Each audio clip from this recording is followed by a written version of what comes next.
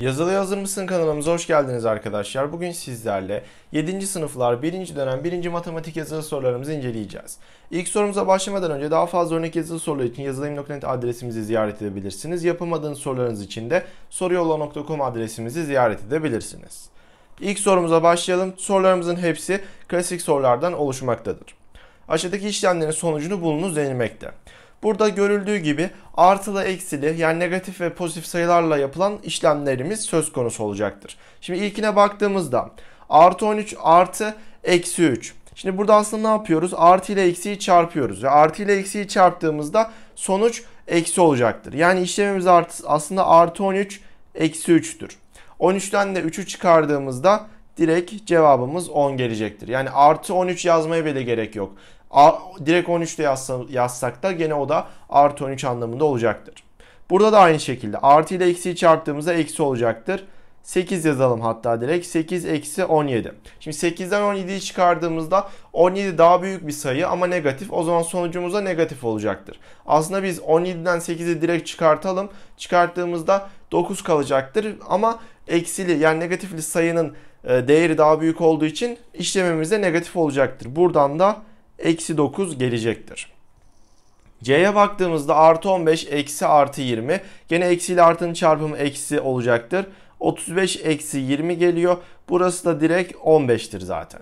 Buraya baktığımızda artı 52 eksi eksi 33. Eksi ile eksinin çarpımı artı olacağından dolayı artı 52 artı 33'tür aslında burası. Ve bu da direkt 52 ile 33'ün toplamıdır. O da 85 etmektedir.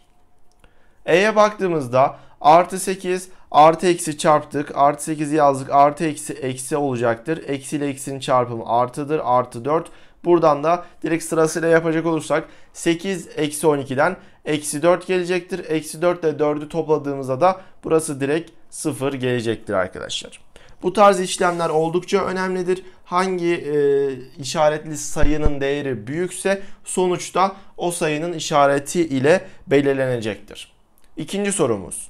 Aşağıda verilen ifadelerde toplama işleminin hangi özelliğin kullanıldığını karşılarına yazınız denilmekte. Burada gördüğünüz bir toplama işleminin yer değiştirme özelliğinden yararlanılmıştır arkadaşlar. Mesela burada eksi 19 artı 22 derken burada artı 22 eksi 19 toplanmıştır. Yer değiştirme olarak söyleyebiliriz. Yer değiştirme olarak burayı ifade etmiş olalım arkadaşlar. Burada da etkisiz eleman özelliğinden bahsedebiliriz. Yani bir sayının artılısı ile eksilisini topladığımızda sonucumuz 0 olacaktır. Etkisiz eleman özelliği. Hatta bunu şöyle yapabiliriz. 12 eksi 0 eşittir artı 12 diyerek de bu şekilde de gösterebiliriz. Aynı bu şekilde gösteriminde de bir sakınca söz konusu değildir. Üçüncü sorumuza bakalım. Çarpımları eksi 60 olan 3 tam sayıdan birisi artı 4 olduğuna göre diğer iki tam sayının alabileceği değerleri yazınız. Şimdi bizim 3 tane sayımız var. A, B, C diyelim tamam mı? Bunlardan birisi artı 4'müş zaten. Mesela A'ya 4 diyelim. Ve bunların çarpımı eksi 60'mış. O zaman B ile C'nin çarpımı için direkt ne diyebiliriz? Eksi 60'ı 4'e böl bölerek eksi 15'tir diyebiliriz. Direkt B ile C'nin çarpımları eksi 15'tir. Ve sonucun eksi gelebilmesi için arkadaşlar ya B eksi olacaktır ya C eksi olacaktır da diyebiliriz. Değerleri söylememiz isteniliyor. Ve bunun yanında öncelikle 15'in nelerini bulalım? Çarpanlarını bulalım. 1 çarpı 15 ve 3 çarpı 5 15'in çarpanlarıdır. Yani 1, 3, 5 ve 15'ten bahsedebiliriz. Ve bu sayıları bu şekilde söylediğimizde mesela B için gidecek olursak eksi 1 çarpı 15 bize bu sonucu verecektir. Sonra eksi 3 çarpı 5 bize bu sonucu verecektir. Sonra yerleri de değiştirebiliriz. E, yerleri de değiştirebiliriz ama gerek yok. Çünkü zaten alabileceği ifadeleri bize sormakta. Bunun yanında e, mesela şuraya da eksi 5 çarpı 3 diyelim. Eksi 15 çarpı 1. Yani burada diğer iki sayının alabileceği değerler nelerdir? Eksi 1, 15, eksi 3, 5, eksi 5, 3, eksi 15 ve 1 buradaki e, diğer iki sayının alabileceği değerler arasındadır diyebiliriz. Çünkü nasıl yaptık buna karar verdik. Eksi olacağı için B ile C'nin çarpımı eksi olmak zorunda. Eksi olduğuna göre iki sayımızdan birisi kesinlikle negatif olacaktır. 15'in çarpanlarına bakarak da bu şekilde bu sonucumuza varmış olduk. Dördüncü sorumuz. Buna göre A artı B kaçtır diye soruluyor. A eşittir eksi 2 üzeri 3 artı eksi 1 üzeri 199. B de artı 5 üzeri 2 eksi eksi 2 üzeri 4 veriliyor. Bu ifadelere yapacak olursak. Şimdi şöyle şey, bir şey söz konusu. Burada artı eksiye dikkat etmemiz gerekiyor. Mesela burada e, üslü ifade parantezin dışında. Yani bu ne demektir? Eksi 2'nin kendisiyle 3 defa çarpımıdır. Mesela bunun sonucunda ne gelecektir? Direkt eksi 8 gelecektir. Buradan artı geliyor. Buradan artı ile eksiyi çarptığımızda eksi gelmektedir. Yani eksi 8.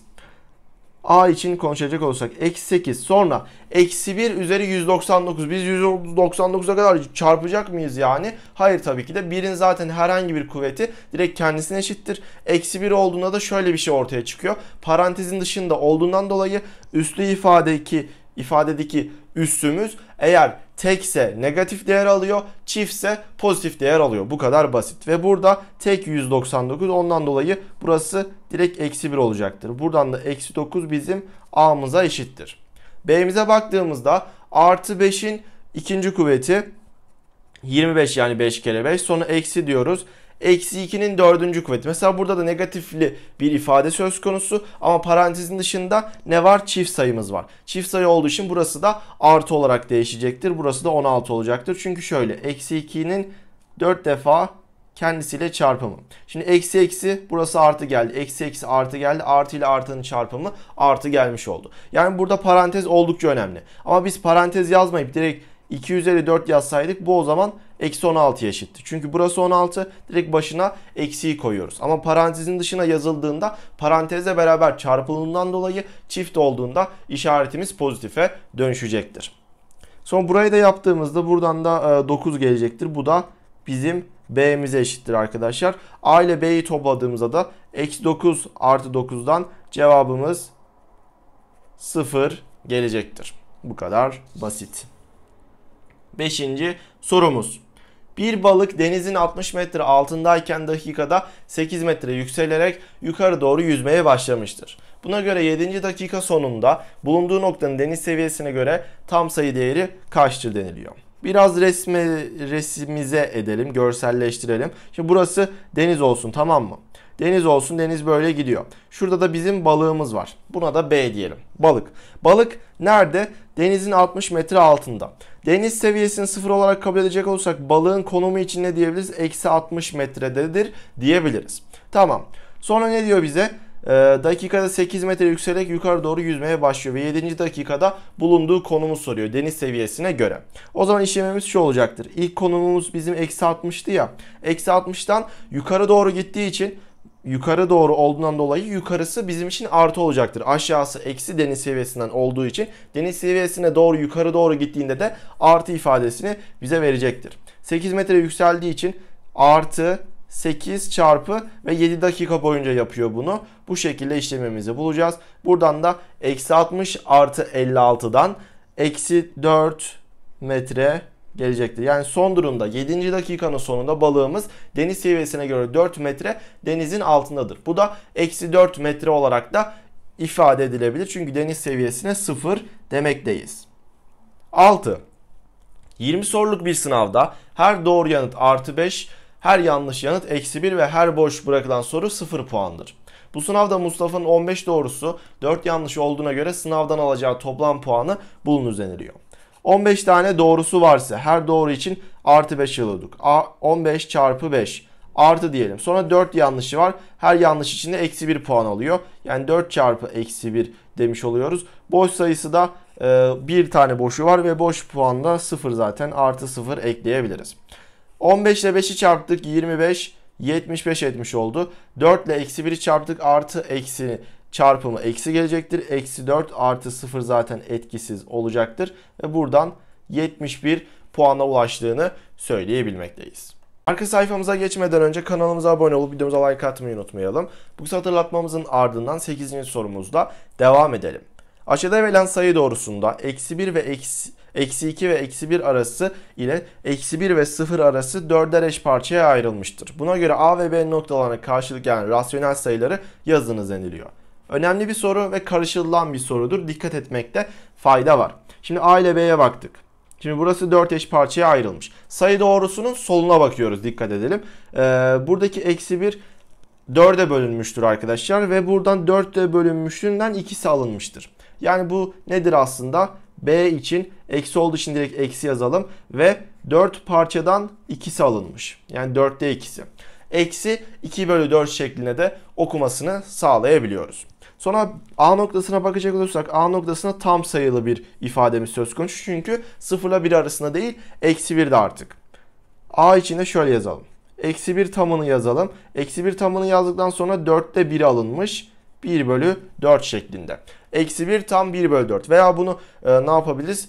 E, bileşik ke kesre de dönüştürebiliriz arkadaşlar istersek. Bileşik kesre dönüştürdüğümüzde de buradan ne gelecektir? Direkt 1 ile 4'ü çarpıyoruz ve 1 ekliyoruz. Buradan eksi 5 bölü 4 gelecektir. Eksiyi de unutmuyoruz arkadaşlar. Bu şekilde de gösterimini sağlayabiliriz. 8. sorumuz ile devam edelim. Aşağıdaki rasyonel sayıların ondalık gösterimlerini yazınız denilmekte. Şimdi ondalık gösterim nedir? Ondalık gösterim yapabilmek için öncelikle paydamızın onun kuvvetlerinde yazılması gerekecektir. 10 olur, 100 olur, 1000 olur, 100 bin olur, 1 milyon olur. Onun kuvvetleri şeklinde gitmesi gerekecektir. E o zaman ilkine baktığımızda eksi 15 bölü 12 veriliyor. Şimdi biz bunu e, nasıl paydasını 10 yapabiliriz onu düşünmemiz gerekiyor. Ve öncelikle 3 ile sadeleştirdiğimizde eksi 5 bölü 4 olmakta gördüğünüz gibi. Ve sonra biz ne yapabiliriz? Bu paydasının 100 olabilmesi için mesela burayı 25 ile çarpabiliriz. 25 ile genişlettiğimizde o zaman paydamız 100 olmuş oluyor.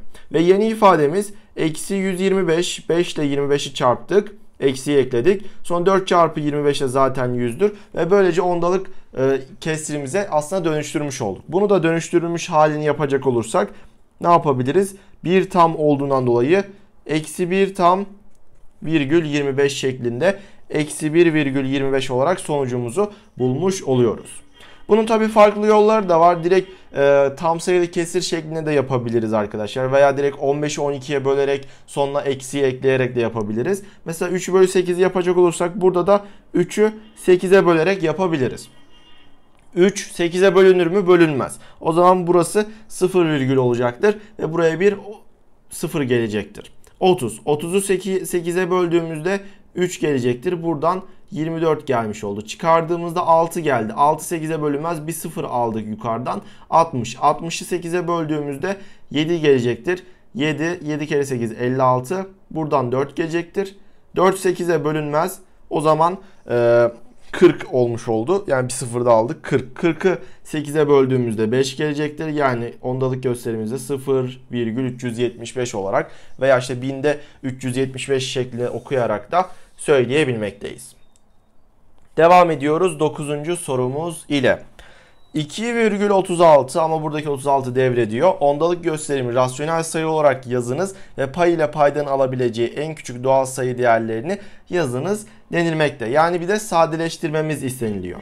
Şimdi öncelikle bize verilen buradaki devirli ondalık sayılarını nasıl kesire dönüştürebiliriz onu bulmamız gerekiyor. Öncelikle burada verilen sayıyı direkt aynı şekilde yazıyoruz. Yani araya virgül koymadan yazıyoruz.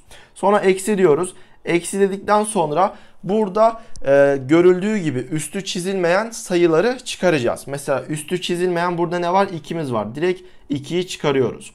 Sonra bölü diyoruz. Bölü dedikten sonra bölüme de şöyle yapıyoruz. Mesela burada devreden sayı kadar 9 koyacağız. Devretmeyen kadar da 0 koymamız gerekiyor. Burada hepsi de devrettiği için 2 rakam olduğundan dolayı direkt buraya 9 9 koyuyoruz. Aslında bu sayı ne demektir? 2,36 36 36 36 şeklinde devrediyor demektir. Yani bu şekilde gidiyor demektir. Bunu sayıya çevirirken de bu şekilde yapmamız gerekiyor ve bunun sonucunda da 234 bölü 99 gelecektir. Sonra bizden istediği diğer ifade ise e, pay ile paydan alabileceği en küçük doğal sayıyı bulunuz. Yani sadeleştirin denilmekte. E, baktığımızda direkt her ikisini de 9'a bölebiliriz. 9'a böldüğümüzde paydamız 11 gelecektir. 234'ü de şurada 9'a bölecek olursak 3 olmaz 2 olur 18 54 olur 6 olur 26 gelir. Burası da 26. Yani 26 bölü 11 olmuş oluyor. Pay ile paydını alabileceğin küçük doğal sayılarda 26 ve 11 olmuş oluyor arkadaşlar. Bu şekilde güzel bir sorumuzu daha atlatmış olalım. 10. ve son sorumuza gelelim. Rasyonel sayı sıralamasının doğru olabilmesi için x yerine gelebilecek tam sayı değerlerini bulunuz denilmekte. Şimdi baktığımızda 3 bölü 8 büyüktür x bölü 4 büyüktür 1 bölü 8 deniliyor. Şimdi buradaki ifadenin daha iyi anlaşılabilmesi için ben öncelikle ne yapalım? Hepsinin paydalarını bir eşitleyelim. Bunlar 8 zaten o zaman 4'ü de 2 ile genişleterek tekrardan yazalım. 3 bölü 8 büyüktür 2x bölü 8 oldu burası. O da büyüktür 1 bölü 8. O zaman şimdi bu 2x'in 3 ile 1 arasında olabilmesi için x yerine ne gelebilir arkadaşlar? Tam sayı değerlerini sorduğu için x yerine 1 gelebilir. x 1 olduğunda 2 gelecektir ve 3 büyüktür 2'den ve 2 de büyüktür 1'den sıralamamızda sağlamış oluyoruz. Tek bir rakam gelmesi yeterli olacaktır. Tam sayı dediğinden dolayı direkt x eşittir 1 olacaktır. Böylece son sorumuza beraber videomuzun sonuna geldik arkadaşlar. Kanalımıza abone olup videomuza like atmayı unutmayalım. Görüşmek dileğiyle hoşçakalın. Kendinize iyi bakın.